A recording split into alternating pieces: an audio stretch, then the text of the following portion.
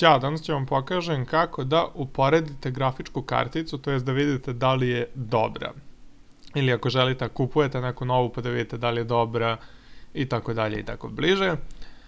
Kao prvo morate da imate neku grafičku sa kojom ćete da je uporedite. Naprimer, ja znam da moja grafička GT220 je na granici, znači ono, ona je otprilike neki minimum da može da se igraju nove igrice, znači sve ispod nje nema šanse da mogu nove igrice, zašto ona je ono, jel, na granici, ali vi ako nemate tako neku grafičku, jednostavno vidite od nekog druga, recimo, koji ima, uh, i vidite njemu lepo rade sve igrice i ono pitate ga koja mu je grafička, zapišete i onda uporedite druge sa njom ili pogledate negde koji su minimalni zahtevi za neku igricu, pa vidite ako je, ne znam, minimalno GT220, znači vidite da imate nešto bolje.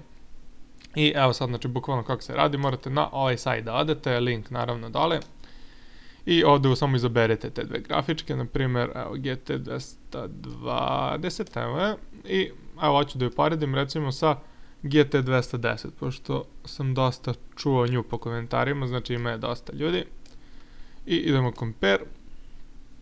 I evo ga, znači dobit ćete ovde, nećete na svim kombinacijama, ali na nekima ćete dobiti realan primer. Znači evo ovde Fallout 3 igrica na high settings, rezolucija 1270 x 1024, bla bla bla. Znači sa GT 220 68 frameova, sa GT 210 20 frameova. Uh, I znači da li će ona moći da igra ovu igricu, moći će, ako je na high 20 frameova, znači ono, bit će sigurno 30 kada malo spustite, je tako, pošto je 30 frameova ono neki kao minimum za igranje.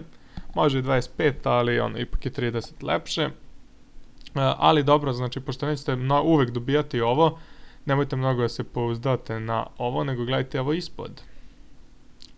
Kao prvo, power consumption vas u suštini ne zanima mnogo, uh, ali ipak treba da obratite pažnju. Zašto? Zato što, uh, a kako imate napajanje, recimo, ako imate neku ono baš slabu grafičku, tipa pa evo recimo GT210 koja koristi samo 31 W i hoćete kupiti neku novu i ona koristi recimo 250 W. Recimo to je jako velika razlika, znači morate da e, razmišljate o tome da li morate da kupujete i novo napajanje. E, recimo ovde sad kad bi se, kad bi teli sa 210 da pređete na 220, vidite da je razlika samo 27 W, što znači da će najverovatnije to da pokrije e, vaše napajanje ali nebitno, znači ono što vas najviše zanima je a, ova tri polja. Znači tu mora se gleda šta je bolje. Recimo vidite GT220 je bolja a, u svim, znači to vidite, znači za 153%, za 112%, za 112%. Ako vas baš zanima šta je, znači texel rate, pixel rate i tako dalje, imate ovde explain.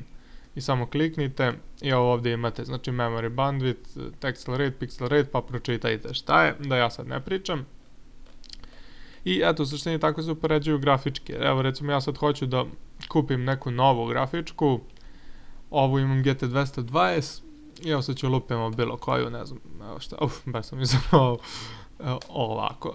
I recimo hoću sad da vidim da li bi ova grafička bila bolja za mene. I evo kao što vidimo, znači ne bi bila bolja, u svim paljima ne bi bila bolja, a evo neku drugu, recimo, evo ajde da znam koja je bolja, znam da je recimo 770 je jako dobra grafička. Idemo compare, hoću da vidim kakva je. I evo kao što vidite, znači ono ne da je bolja nego ubija je. I onda pogledam recimo ovde power consumption, vidim da je razlika samo 22 W, znači ono super. Znači može da mi pokrije moje napajanje. I eto, u suštini tako se gleda. Naravno možete i da odete recimo na YouTube, i ukucate recimo ne znam hoću kupim GT200 to jest hoću kupim recimo HD 7770 i ukucam recimo ne znam neki gameplay kakav je recimo s njom i onda vidite da li je dobro da kak, na kakve podešavanja se igraju i tako dalje i tako dalje.